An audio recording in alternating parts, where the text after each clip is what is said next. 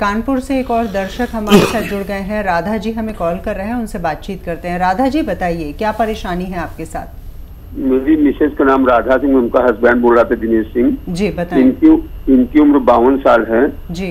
इनको तो hyper acidity बनती है और इनके मुँह में ओठ में जीभ में गले में जलन होती है। जी।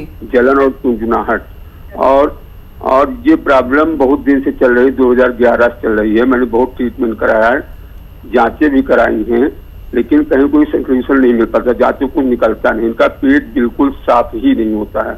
हाइपर एसिडिटी बनती है और उसकी वजह से इनके दांत घिस रहे हैं। मसूड़े बाहर आ रहे हैं दांत घिस रहे हैं। जी। सोल्यूशन नहीं मिल पा रहा। डॉक्टरों से कर कर थक गया हूँ। लेकिन कहीं टेस्टिंग बहुत हुई इंडोस्कोपी हुई सब कुछ हुआ लेकिन कहीं कुछ सोल्यूशन नहीं निकलता है। ठीक है। तो क्या उपाय है? ये दर्द होता कहीं कमर में कहीं पुट्ठे में कहीं कोक में कभी सीने में। ठीक है ठीक है आप मेरी बात समझ लें। और लिख लें तो बहुत अच्छा है। देखिए बहुत साल हो गए इनको बहुत दवाएँ खा ली अब भी खा रहे हैं। चाहें तो खाते रहें लेकिन एक घरेलू नुस्खा आप लिख लें खुद बनाएँ, इनको इस्तेमाल कराएँ। पहले दिन से फ़ायदा शुरू होता है और ये एसिडिटी, कब्ज़, छाले, हाइपर एसिडिटी, बवासीर, लीवर, आंतें, मैदा, किडनी की मरम्मत करता है और बहुत आसान है। मेथी का दाना आप समझते हैं, आपकी पत्नी भी समझती हैं। 500 ग्राम लीजिए 500 ग्राम, यानी आधा किलो।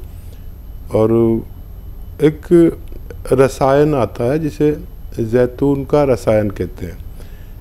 जैतून का रसायन या एस्टेक जैतून इंग्लिश में कहते हैं और हम आसान लैंग्वेज में समझाने के लिए नमक जैतून कहते हैं। ये देखने में नमक जैसा लेकिन जायके में नमकीन नहीं होता। आ, ये 100 डेढ़ सौ ग्राम लें और 500 ग्राम इसमें मिला दें। आ, मेथी में और पाउडर बना लें। आधा चम्मच सुबह खाने से पहले लें। आधा चम्मच दोपहर खाने से पहले, आधा चम्मच रात को खाने से पहले पानी के साथ दें। आप देखेंगे कि फ़ायदा तो ऐसा लगेगा, एक ही हफ़्ते में पूरा होगा लेकिन आप मेरी बात याद रखना, आठ साल से आपको तकलीफ़ है या बारह साल से तकलीफ़ है तो ये जब तक ये नुस्खा जो मैंने आपको बताया ख़त्म ना हो जाए, जब तक इन्हें रोकना नहीं, ताकि पूरे जड़ से ये ठीक हो सके और इनको इन सब बीमारियों से जो आपने जुमला बीमारियाँ मुझे बताई इनसे निजात मिल सके। जी। मध्य प्रदेश से एक और कॉलर हैं पीके वर्मा जी ने हमें कॉल किया है। जी बताइए क्या समस्या है आपके साथ? समस्या ये है सर कि मैडम की श्रीमती पत्नी शशिकला का क्या है कि शरीर में हमेशा दर्द बना रहता है। जी। क्या उम्र है? मतलब लगा उम्र उम्र है सर फिफ्टी टू। 52 ठीक है। देखिए, एक गोंद के बारे में अक्सर बताता हूँ। भारत के कोने कोने तक ये बात पहुँची है और जिन लोगों ने इसको यूज़ किया है, उनको फ़ायदा मिला है। आप भी समझ लीजिए कि एक गोंद आता है जिसे हम काला गोंद कहते हैं या गोंद स्याह कहते हैं। या ब्लैक गम कहते हैं ये मिलता मुश्किल से, नकली भी मिल जाता है। असली लें। और ये आधा आधा ग्राम सुबह शाम नाश्ते के बाद और रात को खाने के बाद बगैर चर्बी के दूध से देना शुरू करें। और अगर आपको 100 ग्राम भी मिल गया तो ये अपने ख़त्म होने से पहले मरीज़ को रोग रोग मुक्त करने की सलाहियत रखता है। लेकिन ये कड़वा बहुत होता है। आप और नकली बहुत मिलता है। असली लेना है आपको तो आपको फ़ायदा मुमकिन है। और आपके साथ हमारी शुभकामनाएँ हैं। उम्मीद करते हैं कि आपको भी अपने सवाल का जवाब मिल गया होगा। आयुष जी ने हमें कॉल किया है। उनकी क्या परेशानी है? उनका क्या प्रश्न है? आइए जानते हैं। आयुष जी सवाल करें। मैम मेरे दादाजी को हरनिया का प्रॉब्लम है। जी। तो उन, उन उनको वहाँ पे दर्द होता है कभी कभी उम्र कितनी है उनकी? उनकी सेवेंटी फाइव सेवेंटी फाइव है। हर्निया की प्रॉब्लम है हाँ। दादाजी को। तो देखिए अगर ये कम है तो इसका निवारण हो सकता है। बहुत ज़्यादा है तो जब बहुत ज़्यादा हो तो इसका ऑपरेशन भी करा सकते हैं। लेकिन उनकी उम्र कितनी है इस पर भी निर्भर करता है। अगर थोड़ा सा है तो देखिए सौंफ और धनिया। ढाई ढाई सौ ग्राम लें। सौंफ और धनिया, ढाई ढाई सौ ग्राम खरीदें और कलौजी का नमक सौ ग्राम। और इसमें पाउडर बना लें और आधा आधा चम्मच, छोटा चाय का चम्मच सुबह और शाम दिया करें। आपके दादाजी का अगर रोग बहुत ज़्यादा नहीं है तो ठीक होना मुमकिन है। जी अयोध्या प्रसाद जी का कॉल हमें आया है उत्तर प्रदेश से उनसे बातचीत करते हैं। अयोध्या जी क्या परेशानी है? मैडम हमको जो है मांस पे गांठें पड़ रही हैं शरीर में।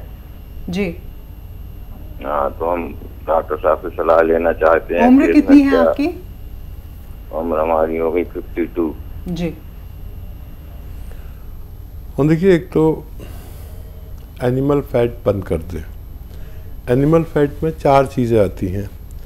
मांस, जानवर का गोश्त और जानवर का दूध, जानवर का घी और मक्खन। ये बंद कर दें सबसे पहले। और जितना हो सके गर्म पानी पिए। पाँच बार गर्म पानी पीना अनिवार्य है। और इससे भी काफ़ी फ़र्क पड़ता है। एक घंटा पैदल चले, धूप में। धूप हमारे लिए बहुत कीमती है। हमें पता नहीं होता कि धूप हमारे लिए क्या है।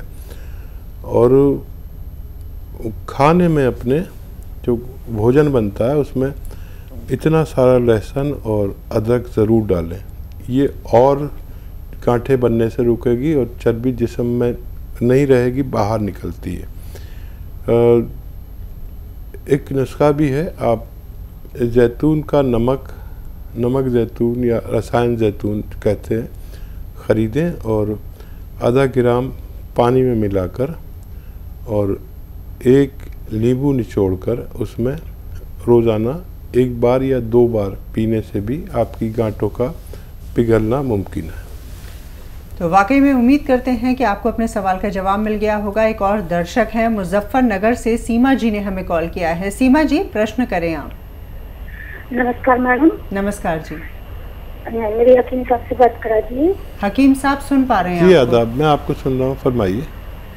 हकीम साहब नमस्ते। आदाब। हाँ जी हकीम साहब मैंने आपके यहाँ से मुझे शुगर की प्रॉब्लम है जैतून का सिरका मंगवाया था। हम्म, और उसके बाद से मुझे काफ़ी रिलीफ है। मतलब शुगर मेरी घट बढ़ती थी बहुत ज़्यादा। और अब मेरे को मतलब घट नहीं रही है ना ज़्यादा बढ़ रही है। जी। आ, कल मेरा टेस्ट हुआ है। उसमें आ, मतलब जैतून का सिरका के बाद मैं अपनी दवाई भी खाती हूँ खाने के बाद जो मैं खा रही हूँ। तो उसमें रैंडम जो मेरा हुआ था उसमें एक सौ तीस आई है। और ये मेरी दो सौ ढाई सौ तक हो जाती थी। और कभी कभी नाइन्टी तक ही रह जाती थी सेवेंटी फाइव भी हो जाती थी इस तरह से होता था। अब डॉक्टर साहब मुझे ये परेशानी और है कि मतलब मैं कमर का दर्द मेरे को रहता है और घुटने में और एड़ी में। तो क्या मैं इसको ले सकती हूँ? गोंद सिया जो आप बताते हैं। और दूसरी बात है मेरा ऑपरेशन होना है यूट्रस का। तो मैं मतलब यूट्रेस का मेरा ऑपरेशन की डेट मिली हुई है मुझे चार दिन बाद की। तो मैं ये गोंद जो ये जैतून का सिरका पी रही हूँ ये मैं कब तक पी सकती हूँ और ऑपरेशन के बाद कब स्टार्ट कर सकती हूँ फिर? जी। बड़ी समझदार बच्ची हैं और जैतून का सिरका जब आपकी टाँके खुल जाएँ। जो ऑपरेशन होता है, उसमें जो सर्जरी होती है, उसमें टाँके लगाए जाते हैं। जब आपके टाँके खुल जाएँ, उसके बाद लेना। ये आपने बहुत ही समझदारी की बात की। इतनी जहीन बच्चियाँ बहुत कम होती हैं। और मैं तो कहता हूँ कि आप, ये अगर कुछ दिन ऑपरेशन टल जाए तो ये जैतून का सिरका गांठों को भी गलाता है ओवरीज की। और नहीं टले तो फिर आप काला गोंद भी आप बाद में लेना। मंगा तो लीजिए, लेकिन बाद में लेना ऑपरेशन के बाद। ऑपरेशन के बाद कमर में बहुत तकलीफ़ होती है, जो इंजेक्शन लगता है ना, बड़ा तड़पती हैं महिलाएँ। तो उस वक्त जब दर्द नहीं जा रहा हो, उस वक्त आप लेना शुरू कर देना। आधा आधा ग्राम दो बार। डॉक्टर मना भी करे तो ले लेना। ये हज़ार दवाओं पर भारी है। और मैंने ऐसे लोगों को देखा है जो, जिनका ऑपरेशन हुआ और कमर में इंजेक्शन देते हैं, वो दर्द किसी सूरत नहीं जाता। ये काले गौन से चला जाता है और बहुत जल्दी चला जाता है। तो ये मंगा के रखें, आप ले सकते हैं। ऑपरेशन के फ़ौर बाद भी ये गोंद आप ले सकते हैं। सिर का आप अपने टाके खुलने के बाद लेना। बिहार से एक और दर्शक इस वक्त हमारे साथ हैं। गिरजा देवी जी ने हमें कॉल किया है। स्वागत है कार्यक्रम में आपका। सवाल कर सकती हैं आप। जी हम